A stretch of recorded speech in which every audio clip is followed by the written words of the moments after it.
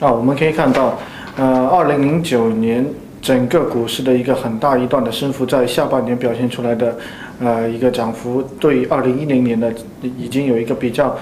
明显的一个比较向好的一个预期在在这之内。整个二零零九年的股市，它的表现呢，呃，说明整个大呃投资者对二零一零年的经济复苏还是一个比较乐观的一个一个看法。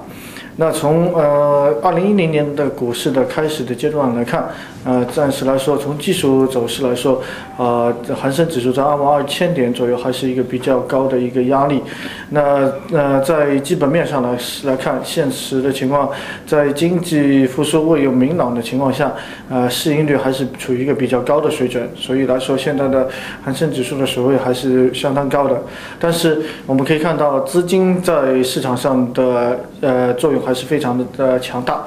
呃，在我们可以看到，呃，资金主要是游游离于这这些不同的板块之中。可能在二零一零年初的话，还会出现在呃资金炒作一些二零零九年比较落后的一些板块，比如说现在刚刚启动的一些石油油股的一个板块，或者是整个零九年在美国比较表现的最好的一个科技股的板块，那可能在香港股市上面也会有所反应。